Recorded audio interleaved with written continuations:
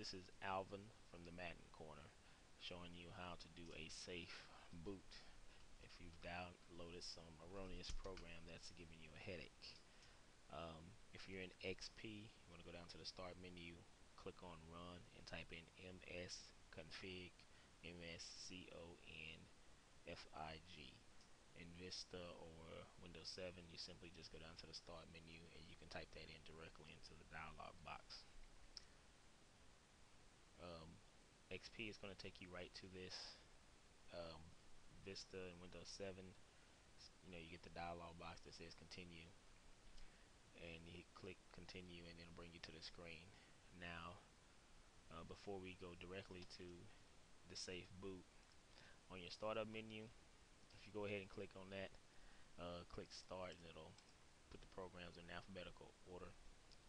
And just look through your program list because another side tip here is that if you have a lot of programs that are on your start menu that you don't use go ahead and uncheck those items because all that does is slow your startup time down your boot time when your computer's loading it just gives you an hassle.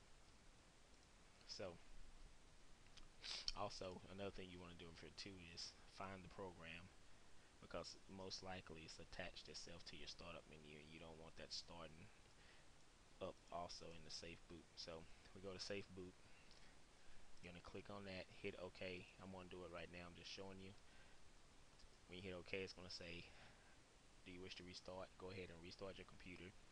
When you restart the computer and it opens in uh, safe boot mode well, excuse me loads the window is to be smaller. So you may see a window something about that big or it may be even that big. It all depends on how big your computer screen is but most likely it's to be a small window uh, don't panic though. That's normal.